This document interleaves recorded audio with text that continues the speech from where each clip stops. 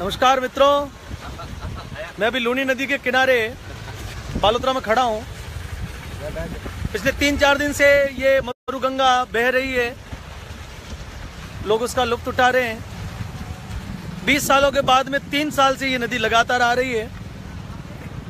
मैं दो तीन दिन से इस नदी को देख रहा हूँ और यहाँ पर किनारे पे आके एक बात को एक बात को सोच रहा हूँ जो पिछले पंद्रह सालों से मेरे दिमाग में नियमित रूप से चल रही है।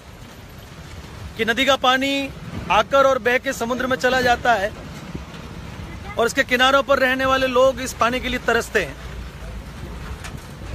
हमारे यहाँ के जनप्रतिनिधि,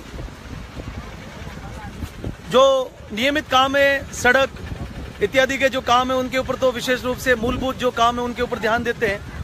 लेकिन मुझे लगता है कि कोई भी जनप्रतिनिधि रचनात्मक कार्यों के प्रति संवेदनशील नहीं है। मुझे लगता है कि यदि इस नदी पर Likey